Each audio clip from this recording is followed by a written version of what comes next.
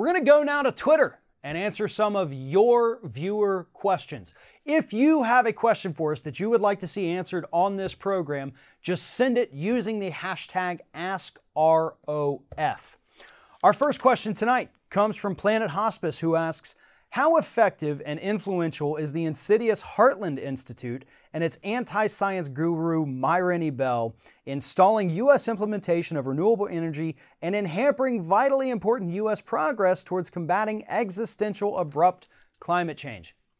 I think groups like the Heartland Institute, which they are by no means alone in any of this science denial, they are at the forefront of the assault on both regulations and science itself within the Republican Party.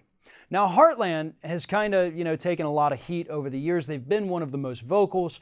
They're the people uh, who've put up those massive billboards in the past with a picture of Charles Manson that says, I still believe in climate change, do you? Obviously, absolutely stupid statement to make that has no bearing on anything whatsoever. But the Heartland Institute decided to do it, and they're funded by fossil fuel interests. See, that's the thing about all these Republican think tanks. They go out there and they, they got their own scientists or, you know, experts, people like Myron E. Bell. And they tell us that no, science isn't settled on this. There's big arguments in the scientific community.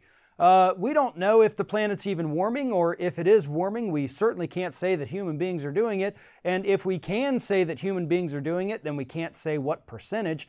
And if we do happen to have a percentage, uh, then there's probably nothing we can do anyway.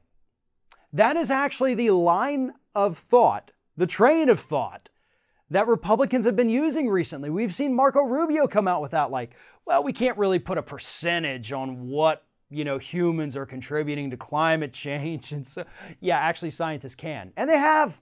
They have. How about you go read a scientific paper, Marco Rubio? How about you stop reading the propaganda being put out by groups like the Heartland Institute or Heritage Foundation or any of these other right wing fossil fuel funded organizations and you start looking at the real science? Because here's the thing regardless of what Republicans tell you, Scientists, the people out there fighting for a better planet, they don't have anything financially to gain from any of this. The fossil fuel companies do. You know, I, have seen that, that talking point too many times. I've spent many years covering climate science denial uh, through my work with DeSmog blog. So this is an issue I'm very up on. And Republicans always want to tell us that these scientists out there think they know better than everybody else. They're just in it for themselves. What do they have to gain? Nobody's paying them to go out there and say the planet is burning down and that we need to save it. The only thing they have to gain is a slightly more habitable planet for themselves and their loved ones. And that is reason enough for them to come out there and try to make things better. Meanwhile, groups like Heartland, groups like Heritage, and all of the others out there, they're funded by fossil fuel companies. The people who do have a direct interest, financial interest, in us denying that a problem even exists. Because if we all finally admitted that yes, this is happening, and yes, humans are making it worse, and yes, the fossil fuel companies are responsible, then suddenly their profits go way down and we start investing in renewable energy.